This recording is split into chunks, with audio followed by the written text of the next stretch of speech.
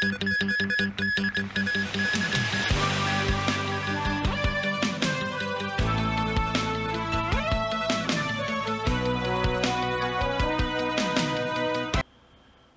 嚟本港，上水發生傷人案，三個男人遇襲受傷，現場遺留兩部私家車，地上就有懷疑同案件有關嘅證物，包括斷棍。警員封鎖調查。現場消息話，凌晨兩點左右，再有三個男人嘅銀色私家車駛到丙江村長龍圍對開時候，被兩部私家車截停。兩部車上面十個男人持武器向三個事主襲擊。兇徒傷人之後，部分徒步逃走，其他人就登上其中一部私家車逃去。第五波疫情死亡人數眾多，行政長官林鄭月娥話：疫情大爆發並非人為錯誤，相信下屆政府會檢視今波疫情構成嘅公共衛生危機，又話有需要會提供意見。行政長官林鄭月娥喺例行抗疫記者會再次被問及要唔要為防疫政策失誤導致今波疫情累積七千幾人死亡而問責道歉。佢話第一宗 Omicron 本地個案喺舊年年底出現，當局之後成功壓止擴散。今次爆發係源於檢疫酒店，係喺一個檢疫酒店。裏邊有一位人士就嚟完成咗檢疫期，俾另一位新入嚟檢疫嘅人士係感染。呢啲唔係人為上嘅錯誤，係喺一個公共衛生嘅危機裏邊，有陣時係冇辦法完全可以避免呢一種嘅因素。同樣地，誒針對全民強制檢測咧，我哋一早都係認為個時機係緊要嘅，但係亦都冇人可以預測得到咧喺二月之後會發生咁嚴重嘅誒，即係爆發啦，係咪？至於星期六公佈由勞福局牽頭設立檢討院舍抗疫能力跨部門工作小組，林鄭月娥澄清小組並唔係就今次疫情成立嘅檢討委員會。我覺得一個咁大嘅公共嘅衞生嘅危機，涉及咗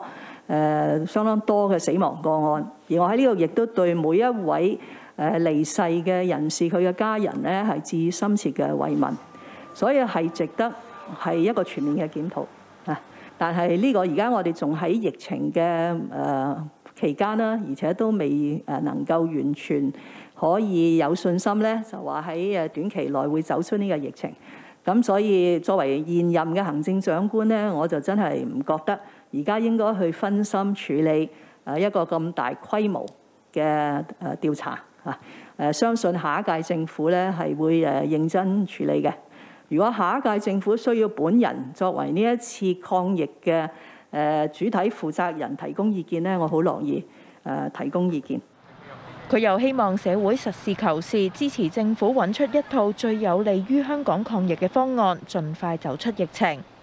無線電視記者郭榮欣報導。上海今日下晝開始分區封控。展開全民核酸檢測期間，公共交通同地鐵分區停運。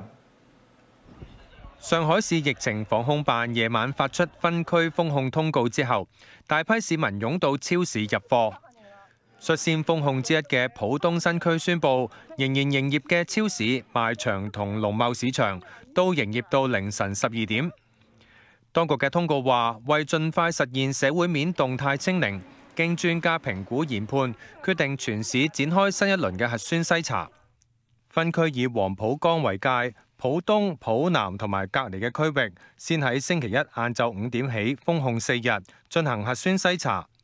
到星期五晏晝五點解封。同時，浦西嘅重點區域都要封控管理。至於浦西地區，緊接喺星期五晏晝三點起封控到下個禮拜二。封控區所有人要足不出戶。所有企業封閉生產或者居家辦公，保障生活同城市運行嘅公共服務獲得豁免。外賣同快遞等實行無接觸配送，唔可以進入住宅小區。封控区内公共交通、地铁、网约车、的士要暂停营运。当局要求各部门确保市民生活必需品供应充足，亦都要求应急医疗维持服务。而喺之前一日，上海当局喺疫情记者会上，专家组成员曾经强调，上海唔会封城。不行。为什么不行？因为上海，我们这个城市承载了不仅仅是上海人民自己的上海，我们这个城市还承载了在全国社会经济当中、经济社会的发展当中，承载发挥了重要的功能。而当局喺最新通告以切块式、网格化同分区分批嚟形容呢次全民核酸筛查行动。上海喺过去一个礼拜已经录得过万宗病例，当中大部分为无症状感染者。之前已經展開過多輪嘅核酸檢測。無線電視記者潘慧琳報導。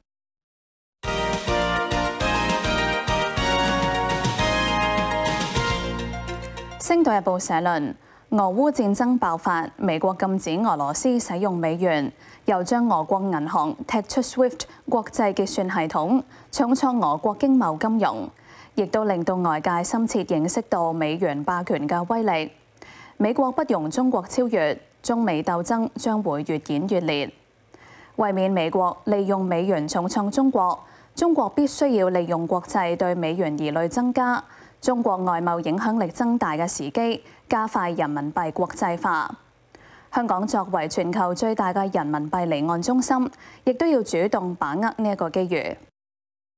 明報社評：俄烏戰爭已經持續一個月，美歐對俄羅斯制裁不斷升級，並且擴大打擊範圍，試圖迫使中國同印度加入制裁俄羅斯嘅行列。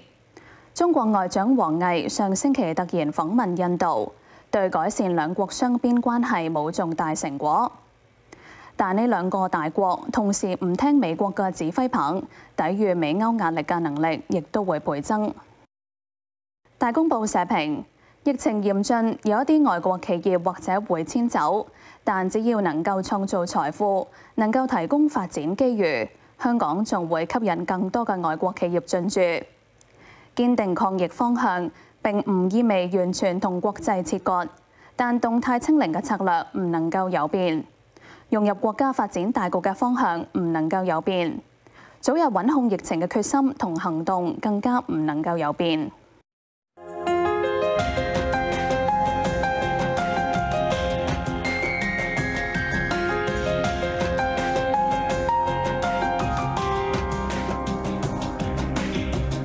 又到咗中華掠影嘅時間。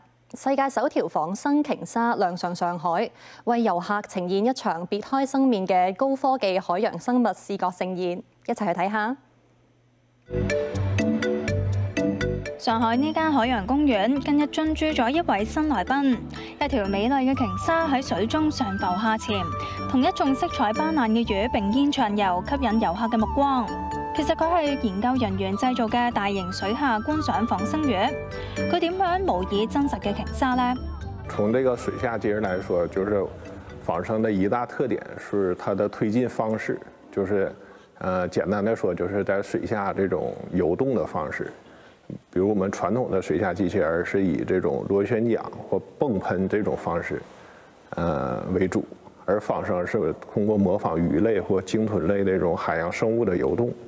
呢一條鯨鯊長四點七米，重達三百五十公斤，可以喺水中靈活自如，模擬真實嘅鯨鯊，完成各類動作。遊客好難，只係從外觀就分辨出佢係機械人。就是用科技來模擬這種，呃，大型或者是珍稀的這種海洋生物，讓把它們用科技的方法帶到人們的眼前。一个是一方面让人们这种了解海洋、了解海洋生物，一方面也能培养人们对海洋这种环保、生物保护的这种意识。方学林所在嘅研究团队希望透过研发水下机械人，引起大众关注海洋生态。团队仲研制出其他嘅小型仿生水下生物，希望水下智能仿生科技走入校园。无线电视记者黄善河报道。福建石狮市有一間特別嘅饅頭店，開業超過十年，以只送不賣嘅方式經營。一齊睇下點解？呢間饅頭店睇落似平平無奇，但佢係弱勢社群嘅救命店鋪，因為店入邊嘅饅頭只送不賣。開業十一年，店鋪免費派發超過三百萬個饅頭。舊年十一月，因為經營不善，曾經停業，好彩得到當局主動提供店面並免除租金同水電費。又號召企業團體捐款。饅頭店喺近日重開。我們提供全力的這個幫助啊，為他提供基礎的，包括我們店鋪的裝修，包括通過一些善心的企業籌一些款，保證兩年的這樣一些運營啊，來來來把這個店繼續的開下去。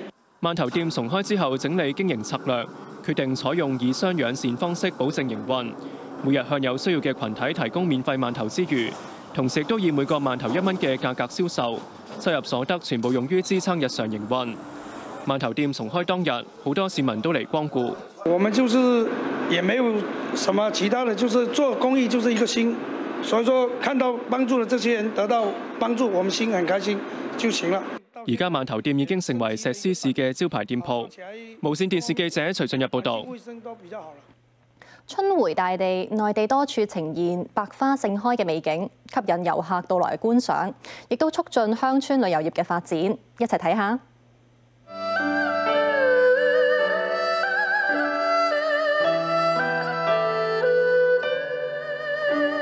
喺雲南嘅過舊山上面，白茫茫嘅梨花一望無際，形成如詩如畫嘅梨花谷，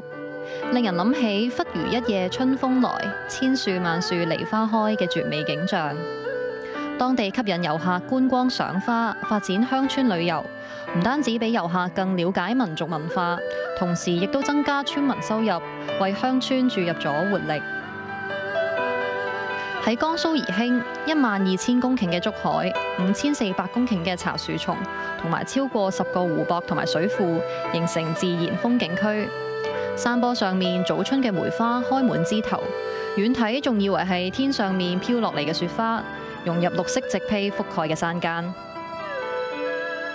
去到河南省就有另外一番唔同嘅風景啦。粉紅色嘅桃花喺黃河大峽谷嘅中段，沿住懸崖盛開。黃河既侵蝕又滋養住峽谷，峭壁延伸，奇石林立，綠樹映襯，盡顯大自然嘅鬼斧神工。喺浙江金华，青山绿水之間，成片嘅茶樹就好似翠綠嘅地氈咁，覆蓋起伏嘅山丘。